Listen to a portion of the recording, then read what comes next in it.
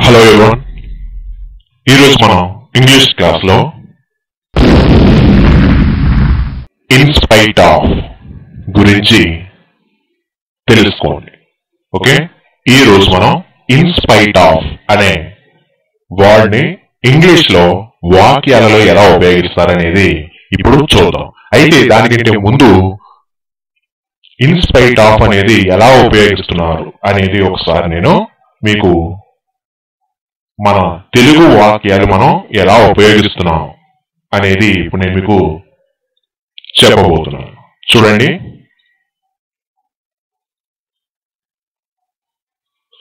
వర్షం వచ్చినప్పటికీ లేదా వర్షం వచ్చినా ఆమె బయటికి వెళ్ళిపోయింది. నేను తనకి ఎంత నచ్చ చెప్పినప్పటికీ ఆమె నా మాట వినలేదు.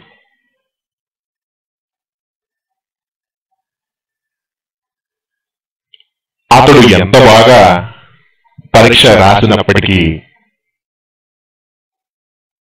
ఫెయిల్ అయ్యాడు. ఇలా మనం రెగ్యులర్గా మనం మాట్లాడతాం లేదా ఎవరైనా మాట్లాడుకుంటే అది వింటూ ఉంటాం. అవునా? ఇలా వాక్యం మధ్యలో మనం చూడండి. అప్పటికి లేదా ఉన్నా ఇలా వచ్చినప్పుడు మనం ఇన్స్పైట్ ఆఫ్ అనే వర్డ్ని అక్కడ యాడ్ చేస్తాం అన్నమాట. అర్థమైందా? అర్థం కాలేదా? అర్థం కాకపోయినా ఏమీ పర్వాలేదు. ఓకే? ఇప్పుడు నేను కొన్ని మీకు ఎగ్జాంపుల్స్ అనేది ఇవ్వడం జరుగుతుంది. దానివల్ల మీకు ఇన్స్పైట్ ఆఫ్ అనేది ఎలా ఉపయోగిస్తున్నారో తెలుసుకో తెలుసుకోవచ్చు. ఓకే ఎందుకంటే చూడండి నేను ఇటువంటి చిన్న చిన్న వర్డ్స్ తీసుకుని వాటిని ఇంగ్లీష్లో ఎలా ఉపయోగించాలో చెప్పడం జరుగుతుంది. దానికి ఒక ప్రత్యేక కారణం ఉంది. ఎందుకంటే చాలా మంది ఇంగ్లీష్ నేర్చుకోవాలంటే చాలా భయపడుతున్నారు. అది ఏంటంటే తెలియని పదాలు కదా ఎన్ని నేర్చుకోవాలి ఏంటో ఏం తెలియట్లేదు. కాబట్టి అదొక పెద్ద ఏదో భూతంలాగా కనబడుతుంది వాళ్ళకి. ఓకే? అయితే ఇంగ్లీష్ అనేది ఎంత సింపుల్గా ఎంత సింపుల్ వేలో కేవలం ఒక పదాలను మనం వాక్యాలలో మనం మాట్లాడే వాక్యాలలో ఎట్లా ఉపయోగిస్తే దాని అర్థం ఏమొస్తుంది అనేది మీకు తెలియడం కోసం నేను ఈ విధంగా చెప్పడం జరుగుతుంది. ఓకే? ఇప్పుడు మనం డైరెక్ట్గా ఎగ్జామ్స్ చూసేద్దాం రండి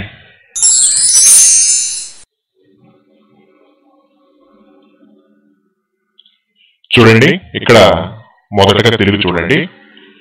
అతడు వేగంగా పరిగెత్తినప్పటికీ ట్రైన్ అందుకోలేకపోయాడు. ఇది వాక్యం. ఇప్పుడు దీన్ని మనం ఇంగ్లీష్లో చెప్పాలి.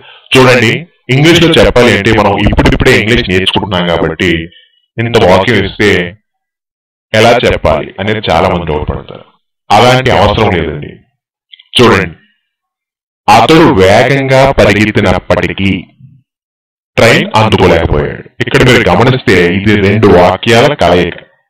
మనం మాట్లాడేది. ఎలా అంటే అతడు వేగంగా పరిగెత్తినప్పటికీ అనేది ఒక వాక్యంగా ట్రైన్ అందుకోలేకపోయాడు అనేది రెండో వాక్యంగా డివైడ్ చేయండి ఫస్ట్. చూడండి. అతడు వేగంగా పరిగెత్తినప్పటికీ. ఓకే? చూడండి. పరుగు పెట్టుట ప్లస్ అప్పటికి. వచ్చిందా? పరిగెత్తినప్పటికీ. ఇలా పరిగెత్తినప్పటికీ వెళ్ళినప్పటికీ మాట్లాడినప్పటికీ వస్తే దానికి మనం ఇంగ్లీష్లో ఇన్స్పైట్ ఆఫ్ మీరు ఏ పని చేస్తున్నారో ఆ పని పెట్టాలి అంటే పరిగెత్తినప్పటికీ ఇన్స్పైట్ ఆఫ్ రన్నింగ్ తింటున్నప్పటికీ ఇన్స్పైట్ ఆఫ్ ఈటింగ్ వెళ్తున్నప్పటికీ ఇన్స్పైట్ ఆఫ్ గోయింగ్ ఇలా అనమాట ఇక్కడ ఏం జరిగింది? అతడు వేగంగా పరిగెత్తినప్పటికీ అంటే ఇంగ్లీష్లో రివర్స్ అని చెప్పాను కదా మీకు? వేయండి first in spite of running fast వేగంగా కదా. ఏం జరిగిన తర్వాత రెండో వాక్యం చూడండి. Train అందుకోలేకపోయాడు. He could not catch the train okay అతడు వేగంగా పరిగెత్తినప్పటికీ ట్రైన్ అందుకోలేకపోయాడు అంటే ఇంగ్లీష్లో in spite of running fast he could not catch the train ఇలా చెప్పాలి. ఓకే ఇలా చెప్పేటప్పుడు చూడండి రాసేటప్పుడు ఇదే వాక్యాన్ని మీరు యాజ్గా రాశారనుకోండి. ఫస్ట్ వాక్యానికి కంపల్సరీగా మీరు కామా అనేది యాడ్ చేయాలి రాసేటప్పుడు. లేకపోతే సెంటెన్స్ తప్పవుతుంది. అదే ఇప్పుడు రెండో మోడల్ చూడండి. రెండో మోడల్ ఏంటంటే ఎలా చెప్పాలి అంటే ఇన్స్పైట్ ఆఫ్ అని ఉంది కదా అది మధ్యలోకి వస్తుంది అనమాట అంటే ఎలా అంటే ముందుగా ట్రైన్ అందుకోలేకపోయాడు అతడు వేగంగా పరిగెత్తినప్పటికీ అని చెప్పాలి రెండో మోడల్లో. మనకి ఏమవుతుందంటే సెకండ్ సెంటెన్స్ ఫస్ట్ సెంటెన్స్గా ఫస్ట్ సెకండ్ సెంటెన్స్గా చెప్తాం అనమాట చూడండి. ఇక్కడ ఇచ్చిన వాక్యం ఏంటి? అతడు వేగంగా పరిగెత్తినప్పటికీ ట్రైన్ అందుకోలేకపోయాడు. ఓకే? ఇలా ఇచ్చినప్పుడు మనం ఫస్ట్ మోడల్లో చెప్పాలంటే ఏం చెప్పాను? In spite of running fast he could not catch the train okay. ఇప్పుడు రెండో మోడల్ రెండో మోడల్ ఎలా చెప్పాలంటే ట్రైన్ అందుకోలేకపోయాడు అతడు వేగంగా పరిగెత్తినప్పటికీ అని చెప్పాలి. అంటే చూడండి he could not catch the train in spite of running fast అని చెప్పాలి. సెకండ్ మోడల్లో మాత్రం మీరు కామ అనేది మధ్యలో పెట్టవలసిన అవసరం లేదు రాసేటప్పుడు. ఒకవేళ పెడితే తప్పు అవుతుంది.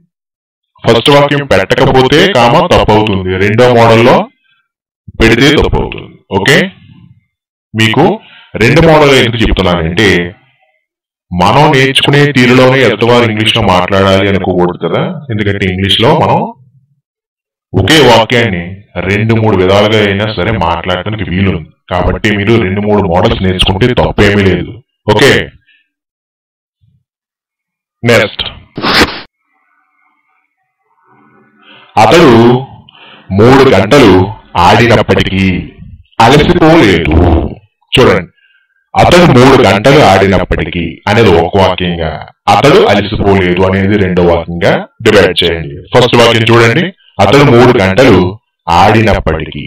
అంటే in spite of playing for three hours okay ఏం చేయలేదు అతడు? అలిసిపోలేదు అంటే he did not get tired okay he did not get tired okay ఇప్పుడు కలిపి చెప్పండి. అతడు మూడు గంటలు ఆడినప్పటికీ అలసిపోలేదు. అంటే in spite of playing for three hours he did not get tired okay?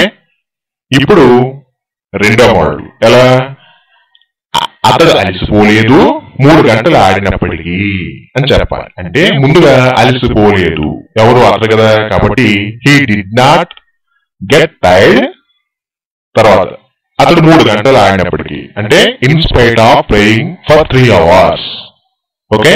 He did not get tired in spite of playing for three hours ఇలా చెప్పాలి. ఓకే? నెక్స్ట్ ఆమె ఒంటరిగా ఉన్నా ఒక సంవత్సరం ధైర్యంగా బతికింది.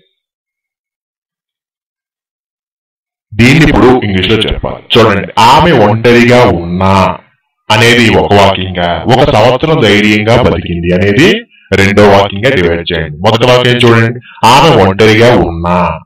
అంటే ఆమె ఒంటరిగా ఉన్నప్పటికీ అని అర్థం. ఓకేనా?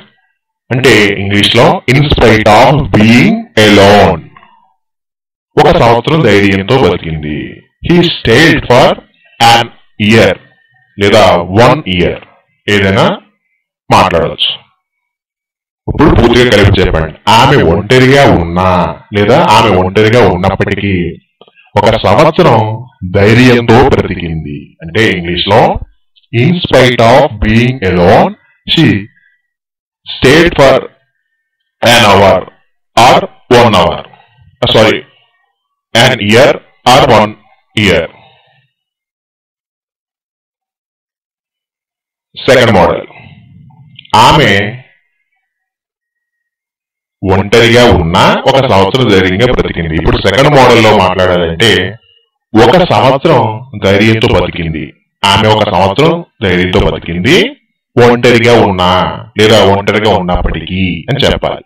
ముందుగా రెండో వాక్యం మొదటగా మాట్లాడాలి. అంటే she stayed for an hour in spite of being alone okay ఈ విధంగా మనం మాట్లాడాలి రెండో మోడల్లో. నెక్స్ట్ ఎంతో బిజీగా ఉన్నా నేను నీతో కొంత సమయం గడుపుతాను. ఇప్పుడు దీన్ని ఇంగ్లీష్లో చెప్పాలి. చూడండి. ముందుగా ఎంతో బిజీగా ఉన్నా. అంటే ఎంతో బిజీగా ఉన్నప్పటికీ అనేది ఒక వాక్యంగా. నేను నీతో కొంత సమయం గడుపుతాను అనేది రెండో వాక్యంగా డివైడ్ చేయండి. ఇప్పుడు మొదటి వాక్యం. ఎంతో బిజీగా ఉన్నా. అంటే in spite of being very busy నేను నీతో కొంత సమయం గడుపుతాను. I will spend some time with you okay ఇప్పుడు కలిపి చెప్పండి ఎంతో బిజీగా ఉన్నా నేను నీతో కొంత సమయం గడుపుతాను. అంటే ఇంగ్లీష్లో in spite of being very busy I will spend some time with you okay ఇప్పుడు రెండో మోడల్ అంటే నేను నీతో కొంత సమయం గడుపుతాను ఎంతో బిజీగా ఉన్నా లేదా ఎంతో బిజీగా ఉన్నప్పటికీ అని చెప్పాలి. అంటే I will spend some time with you in spite of being very busy okay ఈ విధంగా మీరు రెండు మోడల్స్లో కూడా ప్రాక్టీస్ చేయాలి. నెక్స్ట్ ఆమె డాన్స్ నేర్చుకున్నప్పటికీ సరిగా ప్రదర్శన ఇవ్వలేకపోయా ఇవ్వలేకపోయింది. ఓకే ఆమె డాన్స్ నేర్చుకున్నప్పటికీ అనేది ఒక వాక్యంగా సరిగా ప్రదర్శన ఇవ్వలేకపోయింది అనేది ఒక వాక్యంగా డివైడ్ చేయండి. మొదటి వాక్యం చూస్తే ఆమె డాన్స్ నేర్చుకున్నప్పటికీ. ఇంగ్లీష్లో చెప్పాలి? ఇన్స్పైట్ ఆఫ్ లెర్నింగ్ డాన్స్ ఏం చేసింది?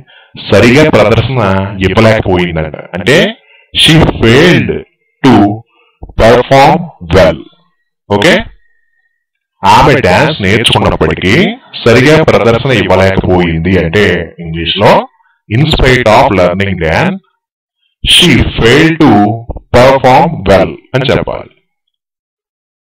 ఇప్పుడు రెండో మోడల్ సరిగా ప్రదర్శన ఇవ్వలేకపోయింది.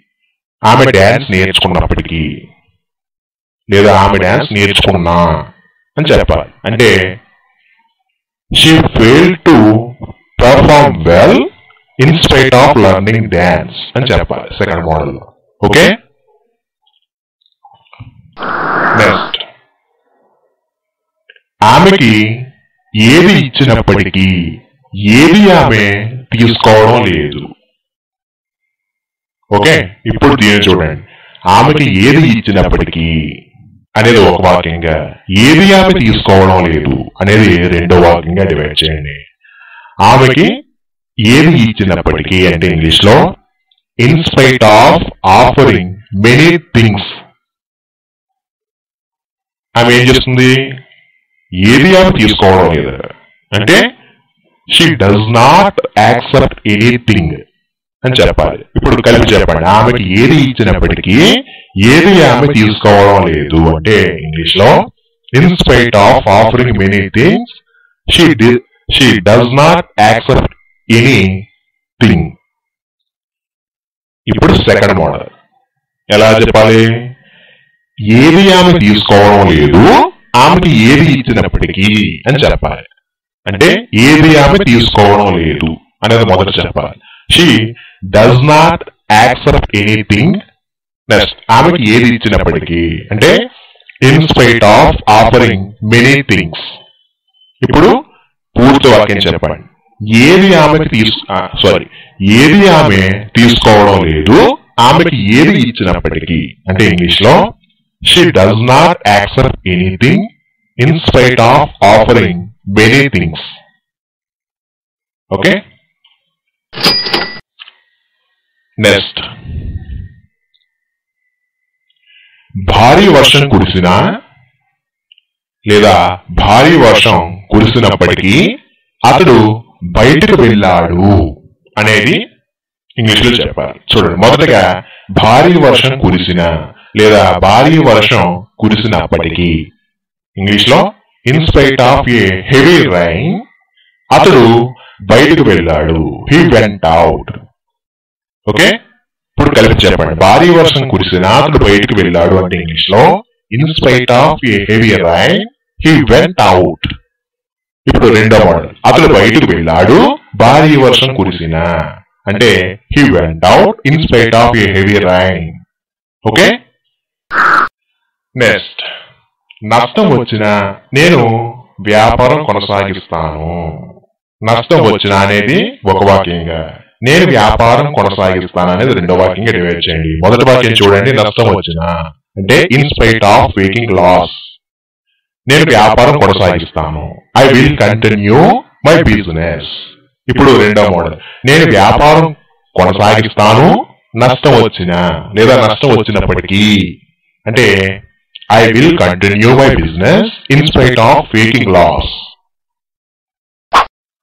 next ఆమెకి గంట సేపు వివరించినప్పటికీ ఆమె తప్పుడు నిర్ణయం తీసుకుంది. ఇప్పుడు దీన్ని ఇంగ్లీష్లో చెప్పాలి. మొదటగా ఆమెకి గంట సేపు వివరించినప్పటికీ అనేది ఒక వాక్యంగా ఆమె తప్పుడు నిర్ణయం తీసుకుంది అనేది రెండో వాక్యంగా డివైడ్ చేయండి. మొదటి వాక్యం చూడండి. ఆమెకి గంట సేపు వివరించినప్పటికీ అంటే in spite of motivating her for an hour లేదా for an hour to her అని కూడా చెప్పొచ్చు. ఆ యాన్ అవర్ బదులుగా వన్ అవర్ అని కూడా యాడ్ చేయండి. యాన్ అవర్ తీసేసి వన్ అవర్ యాడ్ చేసిన సెంటెన్స్ కరెక్ట్ అవుతుంది. నెక్స్ట్ రెండోది ఆమె తప్పుడు నిర్ణయం తీసుకుంది. She took a wrong decision ఇప్పుడు కలిపి చెప్పండి. ఆమెకి గంట సేపు వివరించినప్పటికీ ఆమె తప్పుడు నిర్ణయం తీసుకుంది. In spite of motivating her for an hour she took a wrong decision ఇప్పుడు రెండో మోడల్ ఆమె తప్పుడు నిర్ణయం తీసుకుంది. ఆమెకి గంట సేపు వివరించినప్పటికీ అంటే she took a wrong decision in spite of motivating her for an hour okay ఈ విధంగా రెండో మోడల్ కూడా మీరు ప్రాక్టీస్ చేయాల్సి ఉంటుంది. నెక్స్ట్ మా మధ్య ఎన్ని గొడవలు ఉన్నా అంటే మా మధ్య ఎన్ని గొడవలు ఉన్నప్పటికీ అని అర్థం. ఓకే నేను అతడికి సహాయం చేస్తాను. మొదటగా మా మధ్య ఎన్ని గొడవలు ఉన్నా అనేది ఒక వాక్యంగా నేను అతడికి సహాయము చేస్తాను అనేది రెండో వాక్యంగా డివైడ్ చేయండి. మొదటి వాక్యం చూడండి. మా మధ్య ఎన్ని గొడవలు ఉన్నా అంటే in spite of having many issues many issues us లేదా మధ్య అన్నాడు కాబట్టి in spite of having many issues between us అని పెట్టండి. అదే బాగుంటుంది. నేను అతనికి సహాయం చేస్తాను. ఐ విల్ హెల్ప్ హిమ్ ఇప్పుడు చూడండి. మొత్తం కలిపి చెప్పండి. మా మధ్య ఎన్ని గొడవలు ఉన్నా నేను అతనికి సహాయం చేస్తాను అంటే in spite of having many issues between us I will help him okay ఇప్పుడు రెండో మోడల్ నేను అతనికి సహాయం చేస్తాను. మా మధ్య ఎన్ని గొడవలు ఉన్నప్పటికీ అంటే I will help him in spite of having many issues between us okay next ఎన్నో సమస్యలు ఉన్నా ఆమె ఆనందంగానే ఉంటుంది. ఎన్నో సమస్యలు ఉన్నా అంటే ఎన్నో సమస్యలు ఉన్నప్పటికీ అని అర్థం. ఓకే మొదటి వాక్యం చూస్తే ఎన్నో సమస్యలు ఉన్నప్పటికీ అంటే in spite of facing many problems ఆమె ఆనందంగానే ఉంటుంది. She will keep herself happy okay ఇప్పుడు మొత్తం కలిపి చెప్పండి. ఎన్నో సమస్యలు ఉన్నప్పటికీ ఆమె ఆనందంగానే ఉంటుంది. అంటే ఇంగ్లీష్లో in spite of facing many problems she will keep herself happy ఇప్పుడు రెండో మోడల్. ఆమె ఆనందంగానే ఉంటుంది. ఎన్నో సమస్యలు ఉన్నప్పటికీ. అంటే she will keep herself happy in spite of facing many problems okay ఆమెకి చాక్లెట్ ఇచ్చినప్పటికీ ఏడవడం ఆపలేదు. ఆమెకి చాక్లెట్ ఇచ్చినప్పటికీ అనేది ఒక వాక్యంగా ఏడవడం ఆపలేదు అనేది రెండో వాక్యంగా డివైడ్ చేయండి. మొదటి వాక్యం చూడండి. ఆమెకి చాక్లెట్ ఇచ్చినప్పటికీ అంటే in spite of giving her a chocolate లేదా in spite of giving a chocolate to her ఏడవడం ఆపలేదు. She is not at stopped crying okay ఇప్పుడు రెండో మోడల్ ఏడవడం ఆపలేదు. ఆమెకి చాక్లెట్ ఇచ్చినప్పటికీ అని చెప్పాలి. ఏడవడం ఆపలేదు. అంటే she is not at stopped crying ఆమెకి చాక్లెట్లు ఇచ్చినప్పటికీ in spite of giving her a chocolate okay ఈ విధంగా మీరు first and second model practice చేయండి. ఓకేనా గుర్తుపెట్టుకోండి. మీరు ఇన్స్పైట్ ఆఫ్ అనేది మొదటగా ఉపయోగించాలి అంటే మాట్లాడేటప్పుడు అనుకున్నట్లయితే లేదా మధ్యలో ఉపయోగించిన కామ అనేది రాసేటప్పుడు ఎక్కడ పెట్టాలో ఏంటి అనేది ఇప్పుడు చూశారు. మాట్లాడేటప్పుడు మీరు వాక్యం మధ్యలో ఉపయోగించిన ఇన్స్పైట్ అనేది లేదా వాక్యం మధ్యలో ఉపయోగించిన ఆ కామల ప్రసక్తే ఉండదు. కేవలం రాసేటప్పుడు మాత్రమే ఈ రూల్ పాటించండి గుర్తుపెట్టుకోండి. ఇన్స్పైట్ ఆఫ్ అనేది స్టార్టింగ్లో ఉపయోగిస్తే మధ్యలో కామ పెట్టాలి వాక్యం మధ్యలో. అదే ఇన్స్పైట్ ఆఫ్ అనేది మధ్యలో ఉపయోగిస్తే కామ ఎక్కడా పెట్టకూడదు. ఒకవేళ పెడితే తప్పు అవుతుంది గుర్తుపెట్టుకోండి. ఓకే? మరలా నెక్స్ట్ వర్డ్తో మరలా కలుగుతాం